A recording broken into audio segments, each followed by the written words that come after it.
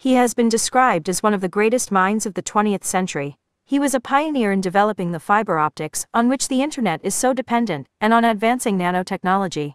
He also worked on producing the first laser-guided missile systems among scores of other discoveries. Profile by Baffour Ankomah. October is Black History Month in Britain, a month during which the great and good of global Africa are celebrated. One person whose name has come up deserves his place on the list through sheer merit. Dr. Thomas O. Mensah, 71, a Ghanaian American chemical engineer and inventor who contributed immensely to the development of laser guided missiles for the U.S. military. Dr. Mensah is an expert in fiber optics and nanotechnology. But for his work, fiber optics would not be what it is today. The massive contributions of this son of global Africa have greatly changed the world.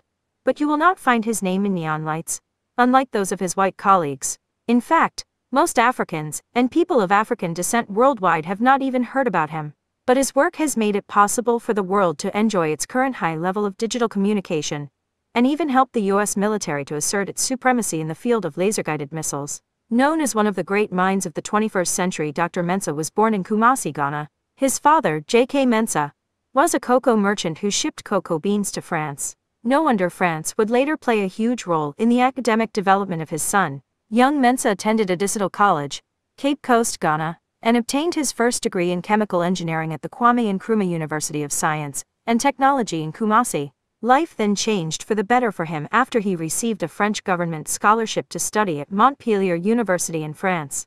While at Montpellier, he participated in a program at the Massachusetts Institute of Technology MIT in Cambridge, USA, in 1977, and received a certificate in the modeling and simulation of chemical processes from MIT. A year later, he obtained his PhD in chemical engineering from Montpellier University, and life has never been the same again. Mensah emigrated to the U.S. after his PhD studies and worked at Air Products and Chemicals in Allentown, Pennsylvania, before moving on to Corning Glass Works in New York, where he worked on fiber optic research at Sullivan Park. According to one writer, researchers at Corning had previously developed fiber optic with loss below the crucial attenuation limit of 20 decibels per kilometer, but the fibers could not be manufactured at rates higher than 2 meters per second.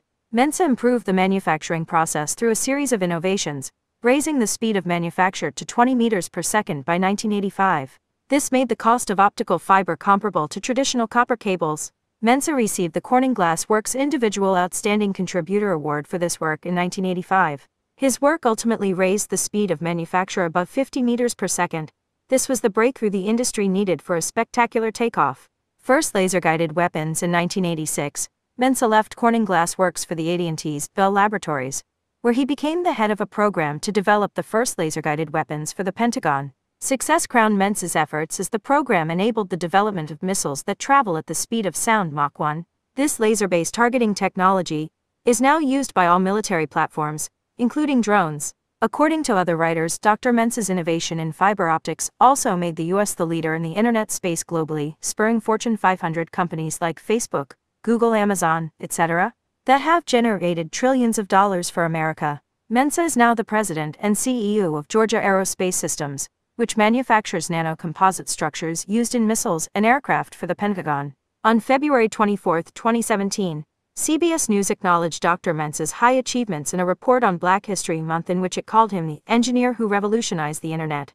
Recently, Dr. Mensah told an American TV host in an interview, social media is now a big thing. In the 1980s, I was one of the four inventors of fiber optics, and this allowed the internet to explode because now you have fiber optics in the sea cables connecting Africa, China, Japan, everywhere. So you can call Japan, you can send Facebook pictures to Japan, to China, and all over the world because of that technology. In addition to being an accomplished chemical engineer, leading the field of fiber optics and nanotechnology, Dr. Mensah is also a leader in the research of material with application in aeronautics. He has at least 25 issued and impending patents to his name. Induction into Elite Group in 2014, he became the first African to be inducted into America's elite National Academy of Inventors. A passionate researcher of green energy, Dr. Mensah has been focusing his attention on Ghana and Africa in recent years, hoping to spur economic and technological developments in Ghana and Africa via the growth of high speed trains to support Africa's Intercontinental Free Trade Agreement. An author of five books on innovation, Dr. Mensah has created the Silicon Valley of Ghana at the Kofi Annan ICT Center in Accra. He has been working since 2016 to create a Silicon Valley of the South, in the U.S. state of Texas. He has received several awards for his work, including the Golden Torch Award, the highest award from the National Society of Black Engineers in the U.S., the Turner's Trumpet Award for Fiber Optics Innovation, Eminent Engineers Award from the American Institute of Chemical Engineers AICHE, Percy Julian Award, and William W. Grimes Award. In December 2017, his home country Ghana honored him with the Kwame Nkrumah African Genius Award in Science, Technology, and Innovation. Dr. Mensah serves on the board of several organizations, including the NASA Space Grant Consortium at the Georgia Institute of Technology and the board of the AICHE Foundation.